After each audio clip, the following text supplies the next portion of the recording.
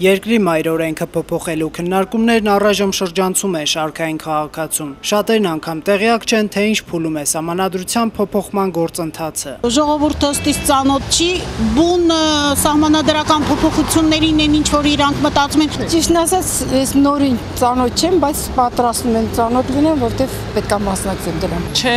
չեմ հետևում։ Ժամանակ չունեմ։ Չէ, չեմ հետաքրքրվում, հոգնել եմ արդեն։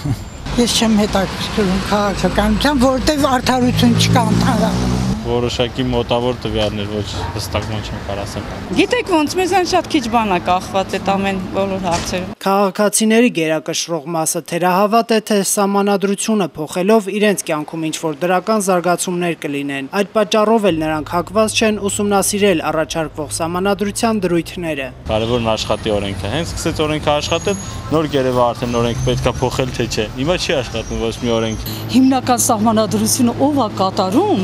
ղեկավարությունը, որ հիմի նորը կատարվի։ Սահմանադրությունը փոփոխենք,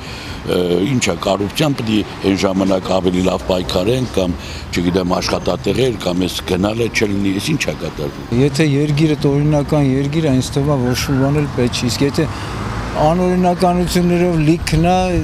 ինչ էլ ուզում ես արա ոչ մի տարբերություն չկա։ Չեմ գտնում, որ հիմա ինչ-որ բան պետքա փոխել։ Գոնե եղածը պետքա ուղղակի անել։ Այդ սահմանադրական փոփոխությունները չի արվում ժողովրդի համար։ Կամ կա սահմանադրություն չի գործում,